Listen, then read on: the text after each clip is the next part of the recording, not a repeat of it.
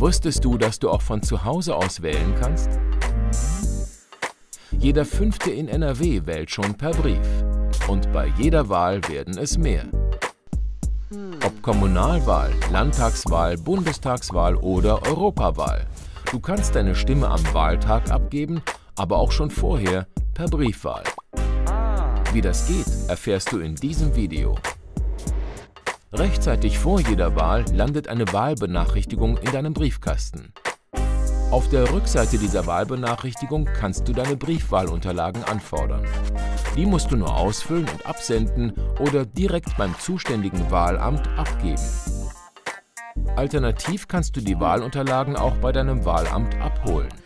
Dort kannst du diese auch sofort ausfüllen und direkt abgeben. Vergiss bitte deinen Personalausweis und deine Wahlbenachrichtigung nicht.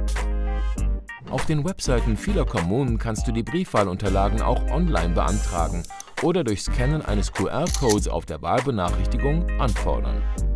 Kurze Zeit später bekommst du per Post deine Wahlunterlagen. Diese bestehen aus dem Wahlschein, einer Anleitung, um auf Nummer sicher zu gehen, kannst du hier auch nochmal nachlesen, wie es geht, einem roten Briefumschlag mit Adresse, einem blauen Briefumschlag ohne Adresse und, ganz wichtig, einem oder mehreren Stimmzetteln für die jeweils stattfindende Wahl.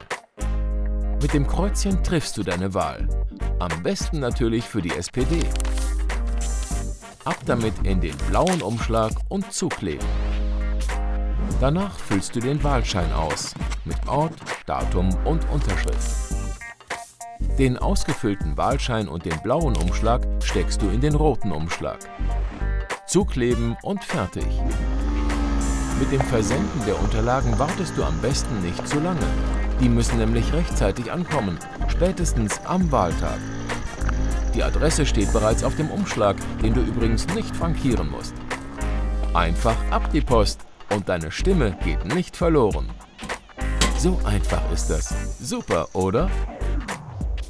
Am 13. September bei der Kommunalwahl hier in NRW wollen wir zu Hause überzeugen.